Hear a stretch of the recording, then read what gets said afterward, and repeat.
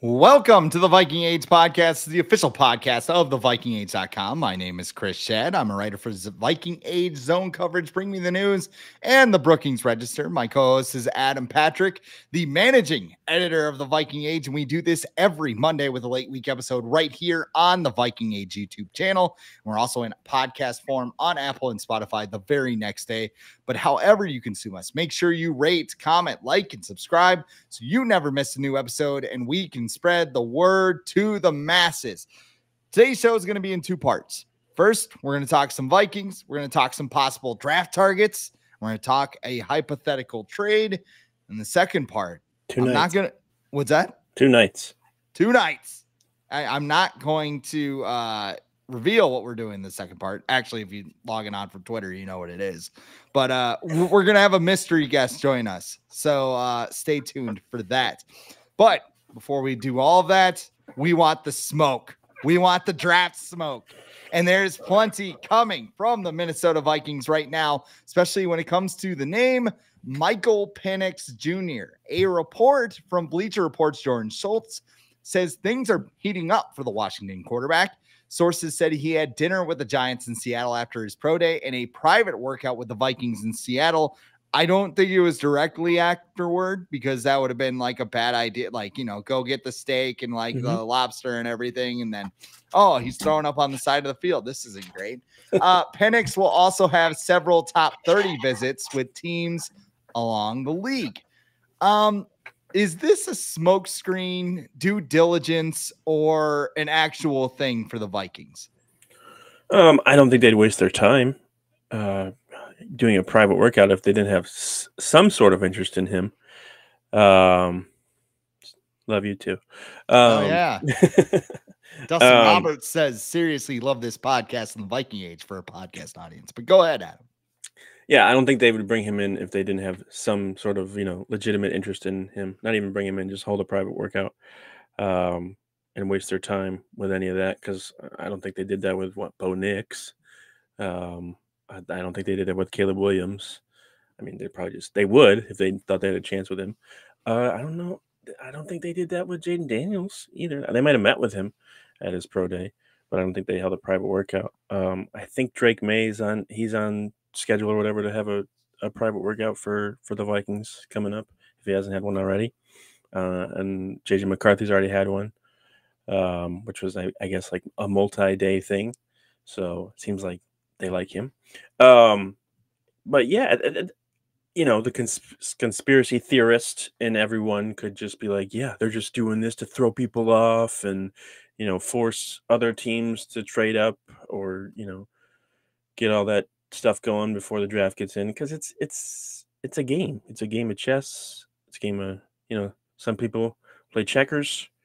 Uh, some people play chess when it comes to the draft. Um, and the Vikings are trying to just, you know, I feel like just cover all their all their bases, um, and especially because they haven't executed a trade yet to move up to four or three, or two or five. Like, and there, there's no guarantee. As much as we like to, to say, like, oh, the Vikings have two first round picks, that's it. They're guaranteed to move up. It hasn't happened yet. Um, and you know, the history of this franchise says definitely says, you know, nothing is guaranteed. So um, it's smart of them to to work out a quarterback like Penix who could still be on the board when it comes time. You know, if they're still on the on the clock at 11 or even 23. I think I I don't think he'll be on the board by 23. I think he'll be gone by then. Um, Really? well, because you got the Broncos and you got the Raiders too. Like, I've seen some things about the Rams being interested in a quarterback because Matthew Stafford's getting up there in age too. Yeah, I don't think he'll be there at 23. Um, Hmm. So I'm fine with them doing all this stuff, but I'm still a little hesitant on on on Penix because of his injury history. I just I just really just I don't I don't want anything to do with that. Like I don't care if he's good this year. He was fine last year. It's still there. It's still like ACL injuries are not. It's not a broken bone. It can happen very easily again. I know technology or science, or whatever, is way better than it, it used to be, but uh, it still still should be a concern. I want to kind of go b- before I really dive into this. I want to kind of go back and do. He might not be available at 23. You know, the more I think about it, the more I think you're right. because this isn't like a normal draft for the top five quarterbacks. Like, you know, you get to number five and it's Kellen Mond, right? Right, right, right. right. You know, th- all five of these quarterbacks, you can look at them and be like, they have first round trades. You know, Caleb Williams, obviously the number one pick. Um, Drake Maye, lots of tools, lots of traits. We had Ian Cummings on Friday. He talked about how he believes Drake Maye is his top quarterback in the draft. Very close, by the way. If you're sitting there going like, "Hey, wait a minute," no, no, it was it was very close. He said, Yeah. but he said that he liked Maye because of his upside. Uh, Jayden Daniels also probably a top three pick in this draft, and then you have JJ McCarthy, who he will go in the top five. I do not think he's getting past the Giants. Giants might be pumping out their own smoke screen with the whole quarterback thing just because they could really use a receiver too. So Yes. if if like say the Vikings are like, oh my god, the Giants are going to get JJ McCarthy, or like my conspiracy theory, Jim Harbaugh is going to take uh, JJ McCarthy for the Chargers. They'll trade with the Cardinals. Marvin Harrison falls down the board, and maybe the Chargers still trade down, and the Giants say, "Thank you very much. We'll take Marvin Harrison or Rome Odunze or whoever that receiver is." Um, the rest of I, I mean, I I don't think. I don't think teams are to leap the Vikings from 11 to go get Michael Penix. I don't think it's that drastic, but I could definitely see Michael Penix going 16, 17, like late teens. Mhm. It- Like, do you think that's his floor, or do you think, you know, maybe he falls third late first round, that 32nd pick, the whole Teddy Bridgewater thing over again? and Lamar Jackson. Um, Yeah. I'm looking at the draft order right now, and uh, I'm just gonna say, let's say the Vikings don't trade up, they're at 11, and the Giants, the Giants go with JJ McCarthy or something. Um, I just saw something today where the Jets are willing to trade back there at pick 10. So if somebody really wanted, you know, they're like, okay, McCarthy, Maye, Daniels, and, and Williams are off the board, like, but we need a quarterback, we need to trade up. So they could, and they they look at the Vikings and they're like, oh, they're gonna they're probably to take, you know, Michael Penix if he's still there. So I could see a team, you know, you said they they might not leap the Vikings, but I could, I could see a team trading to where the Jets pick 10 to, to get Penix. Um, you got the Broncos at 12 right behind the Vikings, the Raiders at 13, the Saints at 14, um, the Seahawks at 16, the Rams at 19, Steelers at 20. Like these are all teams that could potentially um, draft Michael Penix this year because a lot of those teams could just draft him and have him sit for a year. Um, so yeah, I I, I don't know. Is he? Is it is it more like the Will Levis thing last year, where towards the end, towards the you know closer to the draft, we got people like, oh, he's gonna be top five. He, he could even go number one, and then he went second round. Or is it is it like Teddy Bridgewater? Is it like Lamar Jackson um, or Jordan Love, where like there's we hear teams like this guy and they brought him in for workouts, but you know he's, he's not going to be top ten, but maybe you know a team trades up in fifteen or whatever, like you said, and, and gets him. I, I I don't know yet with Penix, um, so I'm curious to see how that goes. My thing with Penix is, you know, I just tweeted this out before I came on the air. Like drafting Penix would just be like socks for Christmas. Not like as an adult. as an adult, socks for Christmas. That Oh, yeah. that is like the best Chris socks and underwear, man. Because like you don't want to buy that shit. So if somebody else is willing to buy it for you, go for it. Although, I mean, you can buy stuff on Amazon now. Nobody's going to see it anyways. right, right, right. But I mean, yeah, underwear would be a little bit weird. Here's some underwear. Hmm. Yes, self self checkout. They should have a class for self checkout. By the way. I'm so ever- envious of like people who have self checkout now because all the stuff that I bought when I was younger, I had to like go to the cash register and the the cashier would like try and have a conversation with me and I'd be like, I'm not trying to talk. I know you worked at QuikTrip and stuff, so you were probably were you a cashier at all there? Did you run the Uh, register? I was when I started there, and then I became like old and grizzled because Right, I right. just got sick of people. yeah, but yeah. So like, I'm like, I don't want. I just want to buy this. I don't want to have a conversation with you. So, so I love self checkout, but I'm I'm envious of the people that never had to we we used to have a guy. I- I'll I'll t- share this story. We used to have a guy who would just stand up there and talk and have like five minute conversations with people. And like the quick trip I was at, was super busy like all the time because you had male employees, you had mm. people who were like just trying to go get high or like, you know, go smoke black and milds or whatever. and um they would like line up and he'd be sitting there and it's like, Hey, pretty lady, how are you doing today? And like she's like missing teeth and shit because she's like, Yeah. So, and like I'm sitting there like, dude, I have shit to do. Like, you need to shut the hell up so I can like.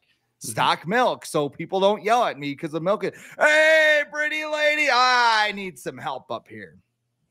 This is just turning into a big therapy session for me. The end, it did not end well. Well, like, uh, Go get your shit there though, like your all yeah. that stuff. But where um, you know, if I, if I would like buy flowers for my wife or something, the cashier would be like, "Oh, what are you doing tonight?" I'm like, "Um, nothing." Actually, she's really mad and left. Why? Yeah, right, right, right. My Lowy flipped me. Um, that'll be nine ninety nine. Right. Um, but like I was saying, like Penix would just be a letdown. I feel mm, like because mm-hmm. like I don't know. Like, like you said, when they made that trade to get the second first round pick, everybody was like, they are serious about getting a quarterback. They want to move up, they want to get their guy. And I think a lot of Vikings fans were on board with that. If the Vikings were to stay at 11, they just said, ah, it's too much, too pricey. And we'll talk about some scenarios a little bit later. If they look at that and they decide it's too much, you know, I would be happy with Byron Murphy at 11 like I've wanted a badass shit wrecker in the trenches for a long time on this defense, and that guy is pretty good. The only problem is, okay, are, are you taking Penix? And like you said, you know, I, I think I think there's enough there with Penix that the Vikings would be totally fine if they took him. He's got a great arm. His numbers under pressure, you know, everybody flips on the Michigan tape and be like, dude, this guy's a wreck. Well, his numbers under pressure were actually better when he was under pressure than in a clean pocket, especially big time throw rate, which means he's willing to attack. You're not going to have the yeah, Kirk Cousins attack too, right? Yeah, yeah. He he doesn't take sacks. He's willing to throw the ball downfield. He's got a cannon for an arm. There are a lot of things to like, but you also see like some of the deficiencies. Michigan kind of exposed him. He's going to be 24 years old in May. Mm. And as you already mentioned, that injury history, like I I I cheer for a team as you can see, I'm wearing a Twins hat that constantly buys guys that are injured. Anthony DeSclafani, or however you pronounce his name, it doesn't matter because he's never going to pitch an inning for the Twin because his elbow is like, you know, uh, you know, shredded steak, you know. Royce Lewis, all world talent. Oh, hits a home run in his first at bat. We're ready to build the statue. Severe quad strain. Run, running, at, running, the, running bases. the bases. like, I don't want to do that. Uh, Teddy Bridgewater drops back and his knee explodes. Like, T-Wolves I know that's too, probably insensitive. Didn't, didn't T-Wolves take a bunch of chances on injured guys too? Like, Brandon wasn't Brandon Roy, Roy there? Brandon Roy, yeah, his knees were like he had Sam Bradford knee. Yeah, yeah Sam, Sam Bradford, another yeah. guy with knee problems. Like, I don't need this in my life. I don't need, well, you know, he had some knee problems, but we checked him out and he's totally fine. In some cases, you get what you pay for. And I know the draft is random. I know that top, all four top quarterbacks aren't going to pan out. 1999, the last time the Vikings had the 11th overall pick, they took Daunte Culpepper. You know who the three quarterbacks were taking ahead of Culpepper in that draft were? Uh, Tim Couch, Akili Smith, and Donovan McNabb. Ah, you're on your game. Either that or you read my article, but nope, I didn't read it. it's just a very memorable. I can see I can see the Sports Illustrated cover right now. I think it was like Akili Smith and Tim Couch because it was the first year the Browns were back, um, and they had the number one pick, and it was like Akili Smith. Who's it going to be, Akili Smith or Tim Couch? it's like wow. I remember the Eagles fans wanted Ricky yeah, Williams yeah, they booed so bad McNabb. in that draft. Yeah, and they booed Donovan McNabb, who uh, wound up uh, leading wound like up four uh, NFC playing. championships. Let's see here. I, I we got a comment here. That was Bradley, that was. Go ahead. Um, that was the uh the year where Ditka traded all of his picks for Ricky Williams too, right? Yes. and and how many times y'all watch Penix played this year in a regular season game at Washington? Probably not, but you have all that concern of his injury history. You didn't even know him in Indiana. Actually, I do. I remember the diving touchdown yeah. against Penn State. Um, so I know him. Yeah, uh, I've seen the guy play. And actually, at Indiana, his last year, he completed like 50 some percent of his passes. Mm-hmm. So there's a guy on our staff, Luke Parrish, who's from Indiana, and he's an Indiana fan. So he's very familiar with uh, Michael Penix. Uh, so yeah, we we we know we've known about Penix for for a while. We're not just you know we're not just going off of uh, hot takes from you know Skip Bayless or something like that. We're, we're, we're not dialing up the YouTube video. No, we're like, yeah, we're, we're doing this for clicks as we sit here with you know as we as thousands we ask of you viewers. to like subscribe and uh, you know check us out, tell your friends, right? Well, well, let's say let's say the Vikings are like, hey, we're we're not really fond on Penix, right? Right. Let's say they want to move up in the draft, and you gave me a very interesting hypothetical. And I would also say they don't have a second round pick, so that could weigh into their decision making as well. Um, I think it was uh, Rick Spielman the other day, not the other day, but a little while ago, mentioned how uh, the Vikings might be a good fit for, fit for Spencer Rattler. Um, so you know, okay, uh, that's the shit I don't want to happen.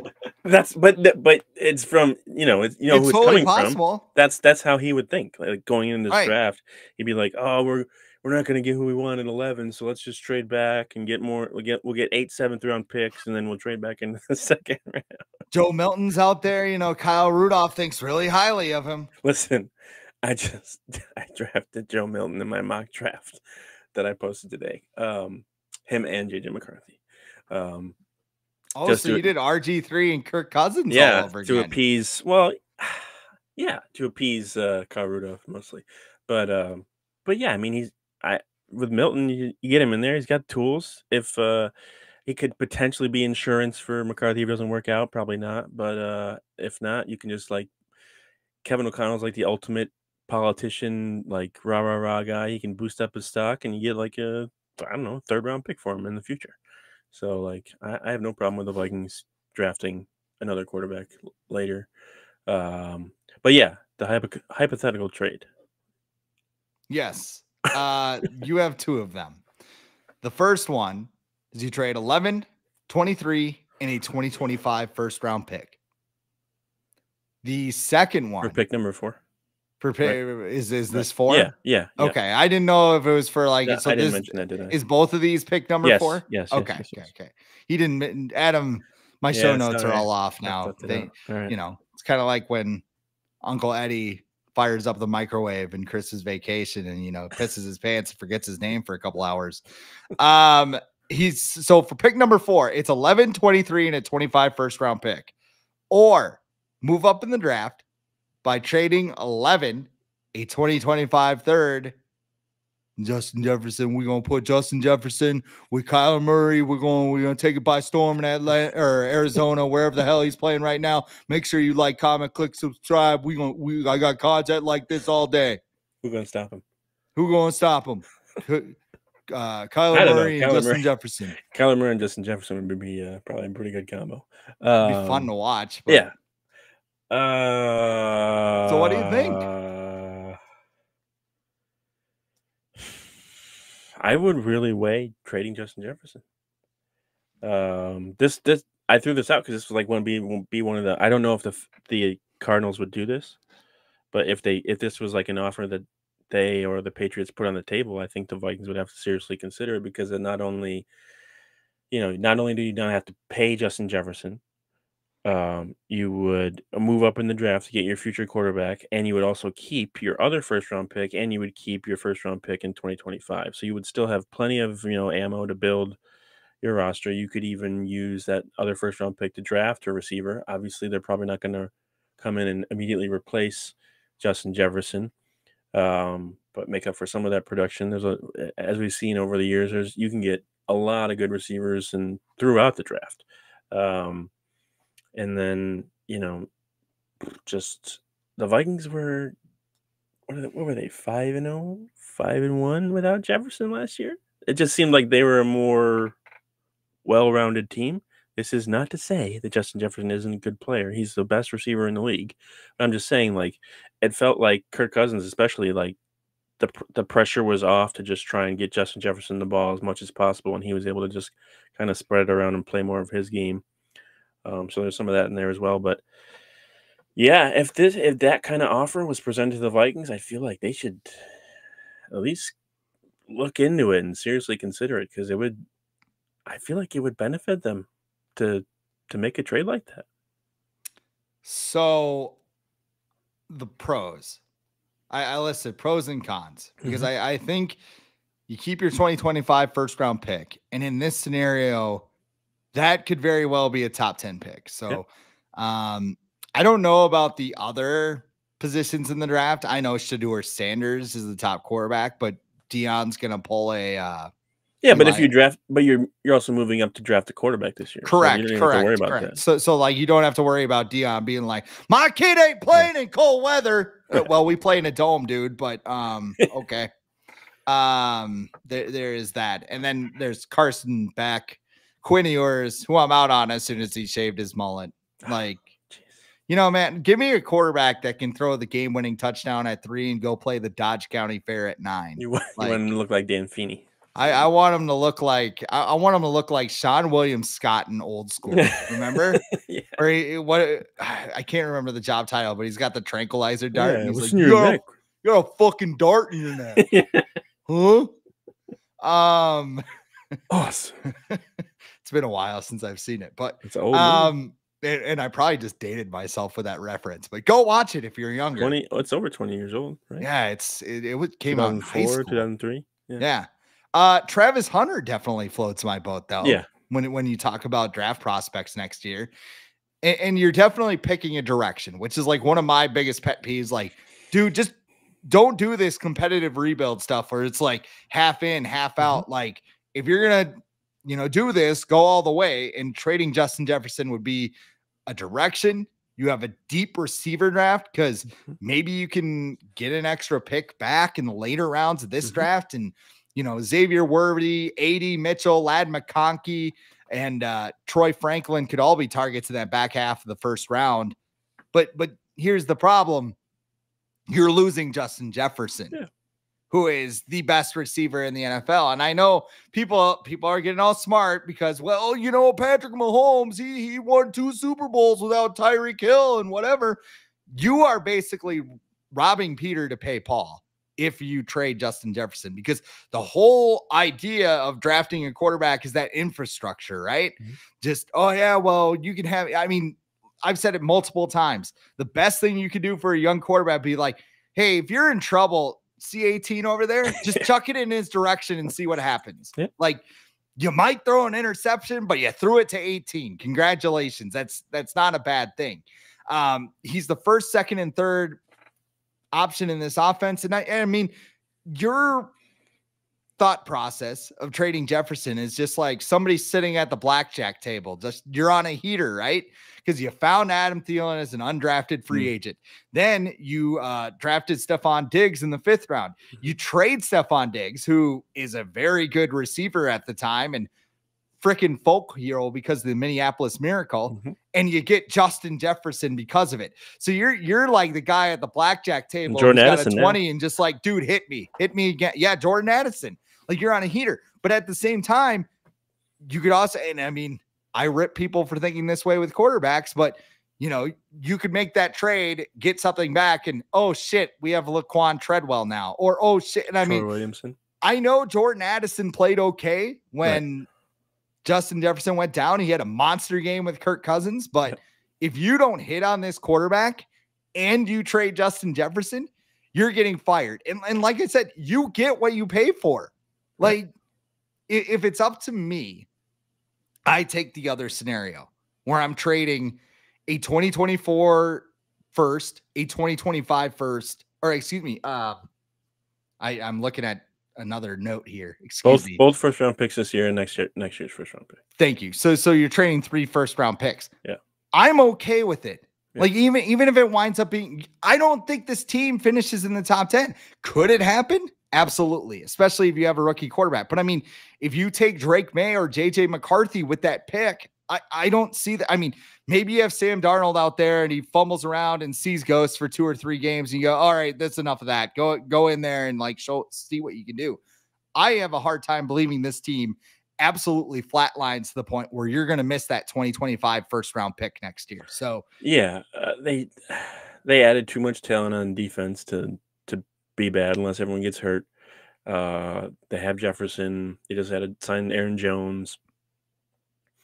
Um, Hockenson's coming back eventually, so like yeah, like it's gonna just be it'd be it's gonna be hard, and and if they play bad, like what does that say about Kevin O'Connell and, and Kwesi? That means they're probably on the hook for their jobs in in their final year, and they don't want that. So yeah, I think. um When's the last time they finished in the top ten, like or the bottom ten? I guess would be what 2013 with Frazier, Leslie Frazier, Yeah. last year. yeah, and then Zimmer took over and took Barr at nine. Yep, and they haven't been in the bottom ten since. So yeah, um, yeah, that's yeah, it's just not gonna happen. But yeah, I I I personally, yeah, I don't I don't want to trade Justin Jefferson.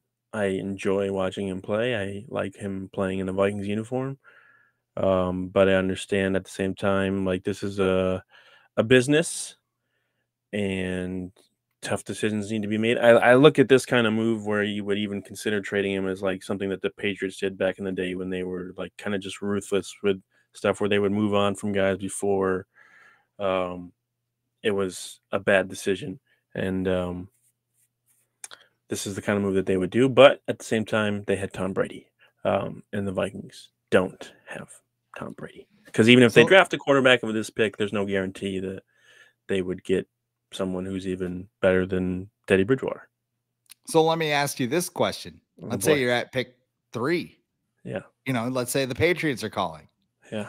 Instead of trading Justin Jefferson, do you shop Christian Darrisaw? Oh yes. You got to pay him too. A thousand percent. So, This- so you, especially especially this draft because this draft Mhm. is full of tackles. Uh, yeah, I would. I would. It would be easier to convince me, or I guess you or everyone else, that to trade Christian Darrisaw than than Justin Jefferson, because I feel like if, especially if you're looking at a quarterback like McCarthy or Maye, who has the ability to move out of the pocket and create, um, you know, their own situations, then yeah, I think trading Darrisaw would be an easier argument to convince someone to do. yeah, and I mean, I don't know. Like I said, I I think I've been promised a bill of goods with a trade into the top three, getting JJ Yeah. McCarthy or uh Drake Maye. I, I mean, I think Sam those are two.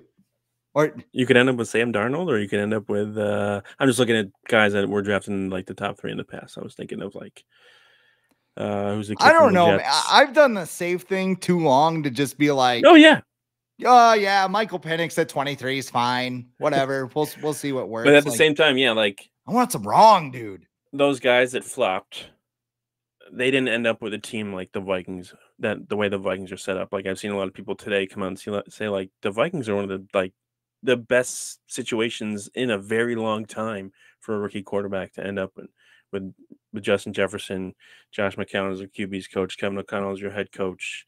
You know, a good offensive system. So like, I think they're even if the quarterback isn't a franchise guy, he could be a Brock Purdy or be someone who's just solid, like a, a Russell Wilson early in his career that just you know gets the job done. You don't need him to be an All Pro every year, just someone who helps you win games. So You just prefer that guy doesn't have an injury history of like yeah. three torn ACLs and a shredded shoulder and two shredded shoulders. and I don't know, 24 years old. Just Yeah, just drink that don't know. Minnes- drink drink that Minnesota water. It's done well for everyone else with their their knees inside U.S. Bank Stadium. Joe Mauer can send over some Kemp's milk too. They're changing their turf, though. bones. in Yeah. Maybe that'll help. You know what they need? They need uh the what is it? Two-time Head Start I-94, 494 Head Start Athletic Trainer of the Year, Nick Paparesta of the Oh. Twins to come on over. They, they just fired their. I don't know. Did they fire him or did he, did he resign? The Vikings trainer or director of sports. Oh, he got fired. He got, He got canned. He didn't quit. for what? yeah. What what happened? What what did he do wrong? Uh there were probably a lot of injuries that uh Marcus Davenport. yeah. Did that probably have something to do with it? You you couldn't fix Marcus Davenport, you son of a bitch. You're out of here. oh shit. Okay. Well, right, let's see. We're at 30 right. minutes in the show. we're good. Uh, we've fulfilled our contractual agreement. Finish night Vikings. one. Yes, finish night one. Um, how about we finish night two? And we, oh my, by God, it's Nick Marty's music. what? Nick Marty is here. Nick Marty is here. He's not. I am ready here. I'm ready for this. I heard the big boys are done talking about serious stuff, and yeah. now we're ready for what I think most people have tuned in for yeah. Our mindless wrestling talk. Correct. WrestleMania preview. this this is honestly it's one of the most exciting weeks of the year yeah. for nerds like us you know nfl fans you know people tuning in right now who just want the vikings talk this is like getting a second super bowl during the year you can drink you can eat you can make food and you can just sit on the couch but now it's not just one night it's two nights it's two nights of wrestling fun and in my case, a lot of beer. So, Adam, you know, if you don't mind, I, I, think we should switch gears here. All right, we can do that. Um, yeah, I would say the feelings are similar to that first week of free agency when you're just like excited about everything that could happen, and then you get most of the time you get let down because um, things don't go the way you wanted. And then sometimes you get surprised, and sometimes some cool things happen, and uh, I think that'll be how this weekend goes too. Let, let's just ease into the wrestling talk here. Oh let's, let, we'll keep it a little Viking theme here because because I'm thinking about this. Of course, Roman Reigns in the main event of WrestleMania, taking on Cody Rhodes. It's the rematch of last year's WrestleMania main event. A former Vikings training camp body, Roman Reigns, by the way. It got me thinking, and, and I kind of want your guys' thoughts. Who is the greatest Viking turned pro wrestler of all time? Is it Brock Lesnar? Or is it Roman Reigns? Uh, Nick, you can go first. Well, so I look at this in two different ways. When I'm talking a single one match talent, I think Brock Lesnar takes it. In a single match, one, you know, in terms of in ring talent, I go Lesnar. But if I'm looking at the entire career and where Roman has gone these last three years, I probably lean more Roman now. If you had asked me this two years ago, I probably would have leaned Brock. Um, but for now, Roman.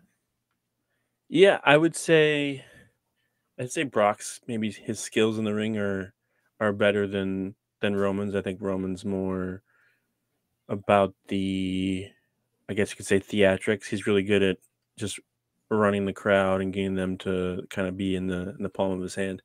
Um, but that works today, and he's really good at it.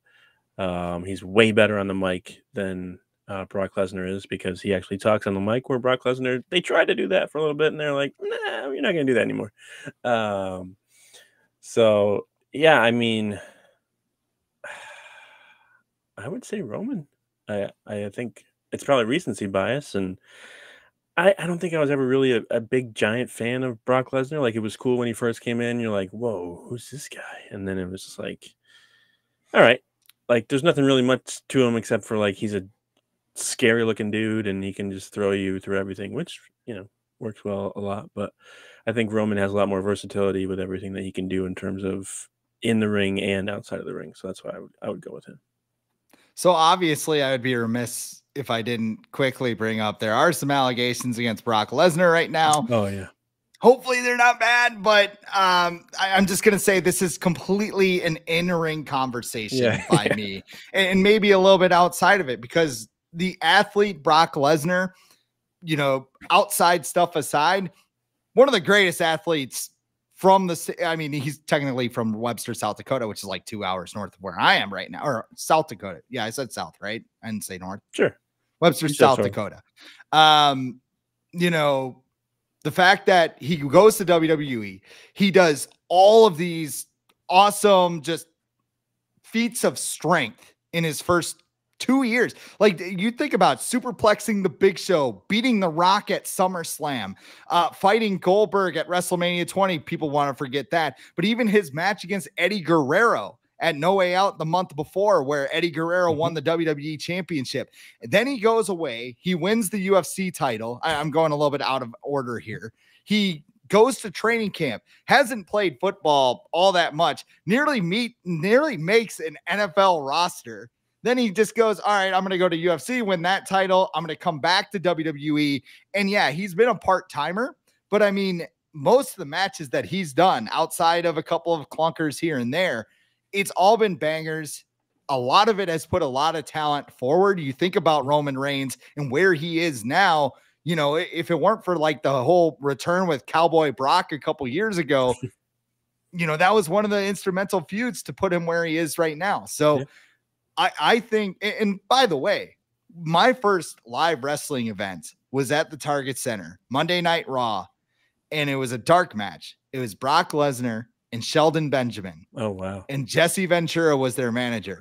wow. And Brock Lesnar did the shooting star press successfully. I wow. know at WrestleMania 19, he landed yeah. on his head, but he hit the shooting star press. It was the coolest thing I've ever seen. So, wow. I gotta go Brock Lesnar, but I do acknowledge our tribal chief Roman when Reigns. when was that? Like like two thousand one or two? June. When was I? Was it a, a might have been a sophomore in high school? Soft. So yeah, 02, 03 maybe. But yeah, it was Shooting before he was on TV. That was it. Was that his finisher? Yeah, they, they were a tag team. They were the Minnesota stretching crew. But that was Brock, Lesnar. Brock Lesnar's finisher was a shooting. St- that's insane. That's insane. Um, he's spectacle. He's an absolute spectacle. That's what he's oh, always yeah. been, and yeah. that's yeah, that's how they sell. Now, his, now right? his daughter's and, doing crazy stuff, yeah. right? Yeah, she's like a world class shot put at. Yeah, now. she'll be she'll be in WWE and she yes. looks exactly like him. Like, yeah, they look very similar. Yes, yes. I'll leave it at that. Yeah. Yep. Okay. Yeah. so, so moving ahead, let's talk about the WrestleMania card. The main event: Cody Rhodes and Roman Reigns. Too, like I mentioned.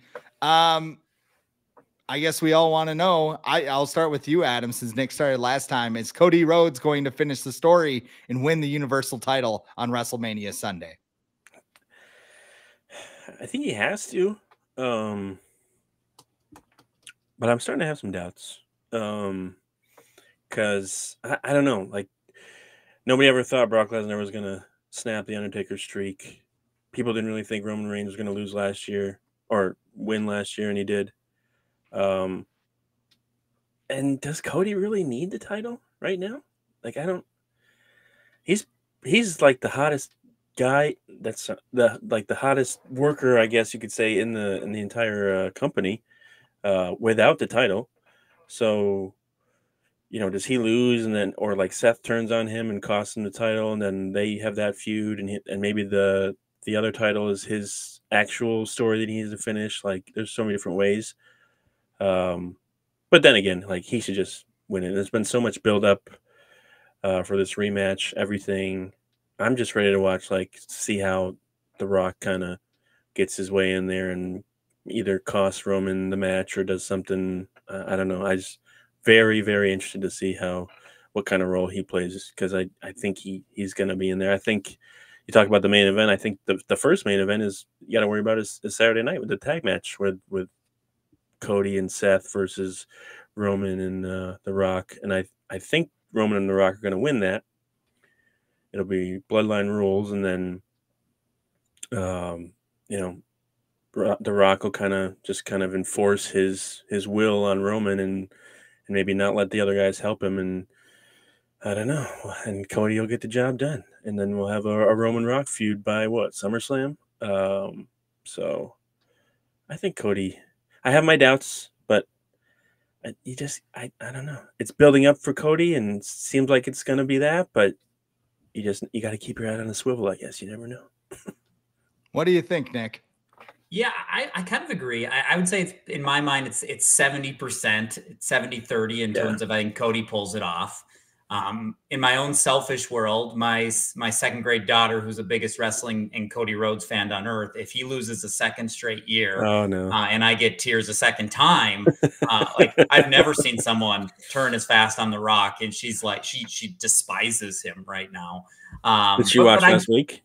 She uh, we did not let her watch. We oh. typically watch day after yeah. because it's uh, school nights, and dad dad did not let the uh, the bloodiness come out I told her about it. Cody got hurt. Um, yep. it was bad. Yeah. Rock said some bad need know. words, and uh, yeah. here we are. Yeah. But Yeah, but but it's intriguing. Like they could go a number of different ways, which is what's always fun. I'm super interested in the first main event, that first Yeah. night.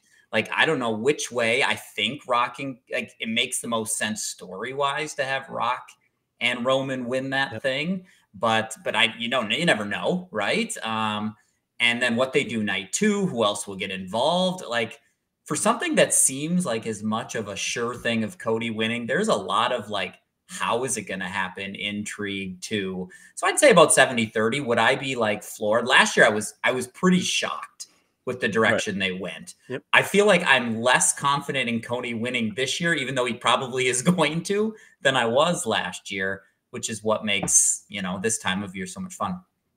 You know, Nick, I, I got to give you credit. At least you didn't. Uh, there was a video that came out after last year's WrestleMania where a dad had like a confetti cannon ready to go because it was up late, so he didn't want his, you know, kid had to go to bed, so he knew what happened, so he got this confetti cannon ready. And when Roman won, he fired the cannon, and confetti went everywhere. He's like, "Roman wins again," and the kid goes, "This is bullshit. What is Yep. this?" And like Yep. ran up the stairs. Um, what a difference two years makes when it comes to the WrestleMania main Mhm. event, right? Because two years ago, you know, we had the battle of the Viking legends, Lesnar and Reigns for I think it was the third time at WrestleMania. Now we have, you know, these two matchups. You know, everybody was kind of mad when they were going to go Roman Reigns against The Rock. I think they can still have that match down the line potentially. Um, you also have, you know, I mean, it just adds intrigue. Like, is somebody going to make someone angry during that ma- match? Is Cody going to piss Seth off and Seth's going to turn on him? Is The Rock going to smack Roman by accident? And that'll be a whole storyline thing.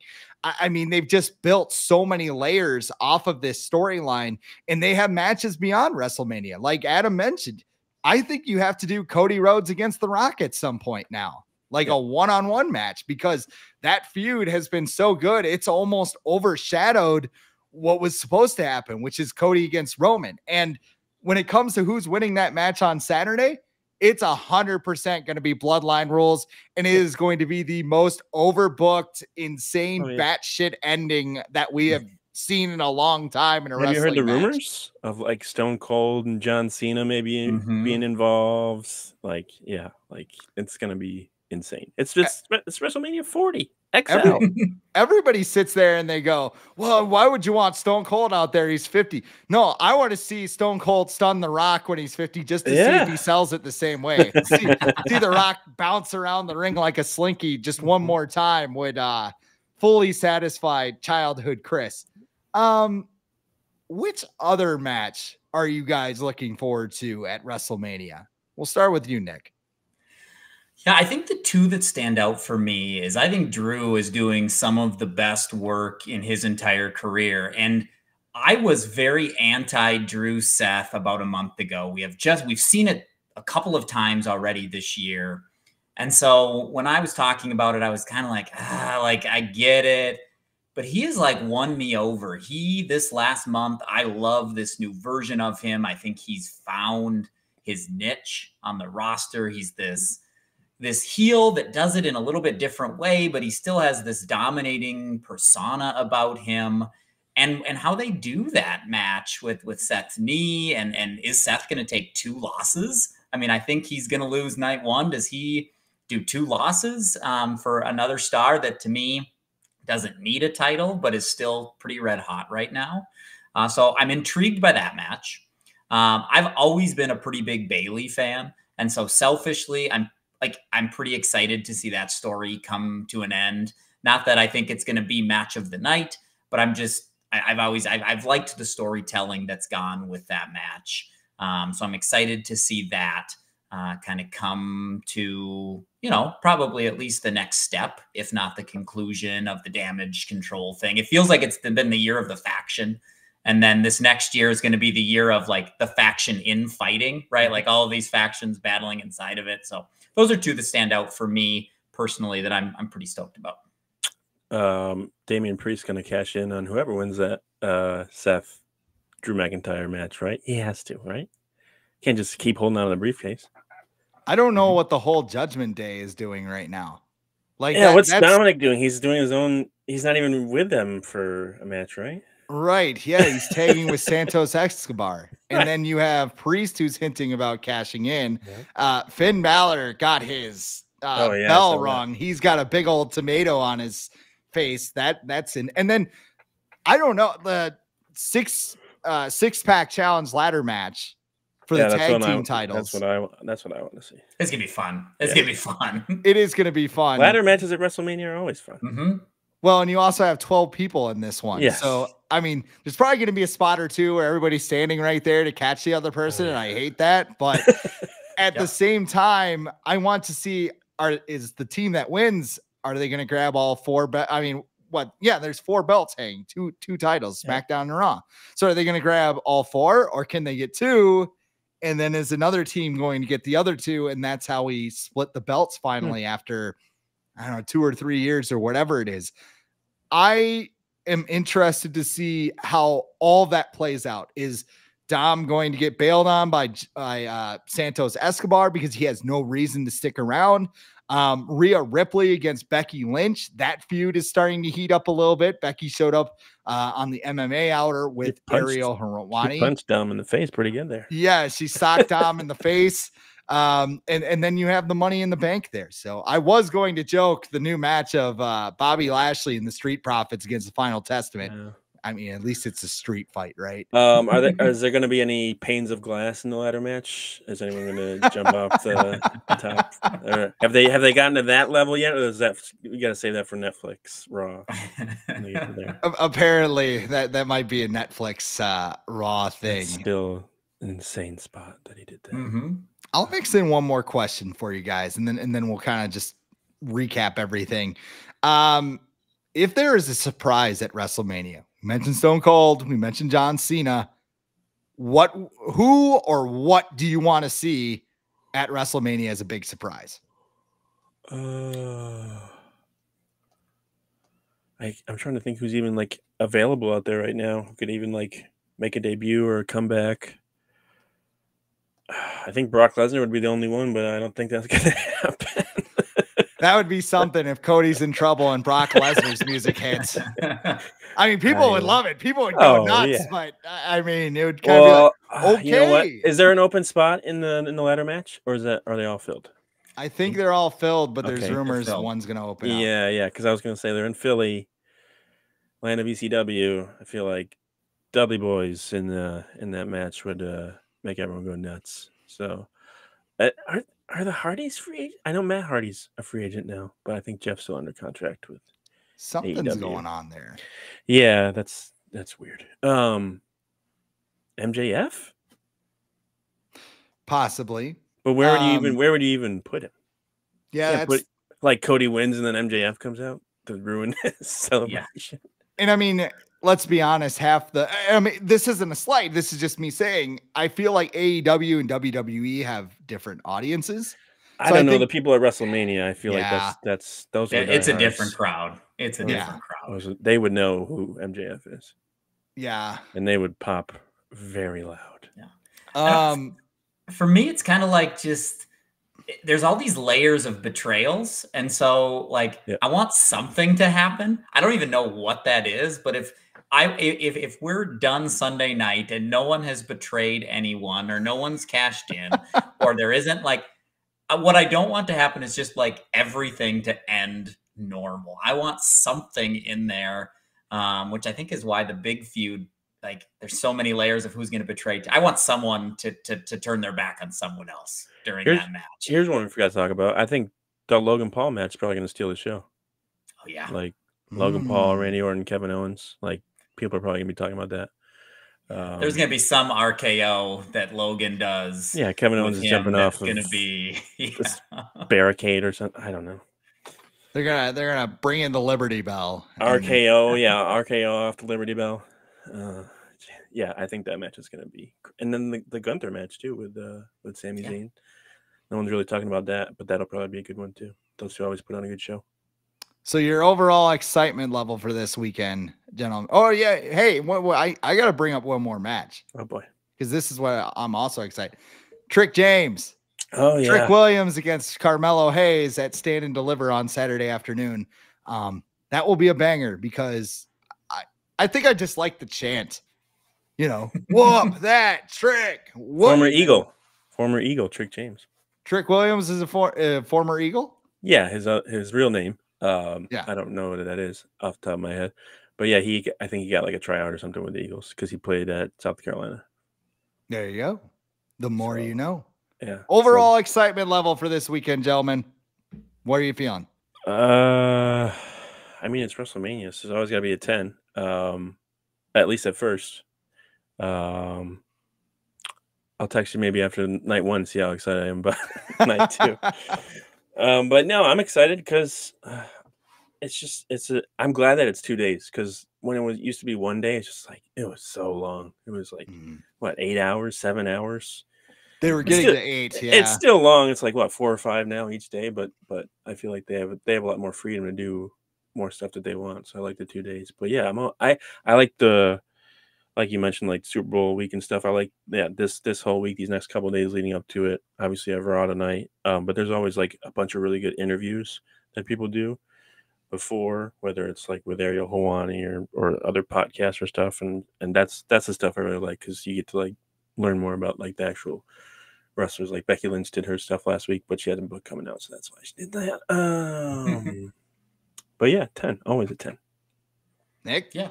Same way. I mean, I, I think uh, this whole weekend is a blast, and I agree. The two nights, as someone who's you know been to multiple in live WrestleManias, like Right. I remember the watching Taker HBK one, and after that match, the emotion, like we were so tired for the rest of that night that like we felt like terrible fans because we Where just was that? couldn't.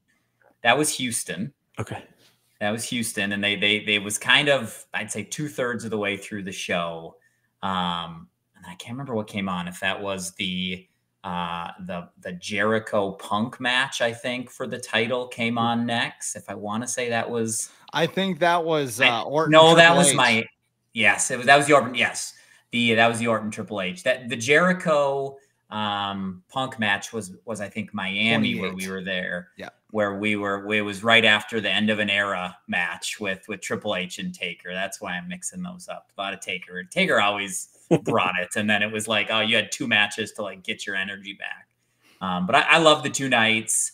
Um, I think they've really done a great job. I'm I'm a huge fan of long term storytelling. I think Chris and I have talked on, you know, when I've come on before about how I was never a huge fan of the big moment, random. Like I like long term storylines, and I feel like so many of them are coming to a conclusion, and I've invested in them, and I care. Like I look up and down the, the card, and I care about a lot of the outcome of a lot of these matches. Mhm. There isn't a lot of like, oh, I got to go put the pizza rolls in matches right now. Like I, I don't know. It's going to be like he- trying to pay my daughters to go do any tasks I need to because I can't.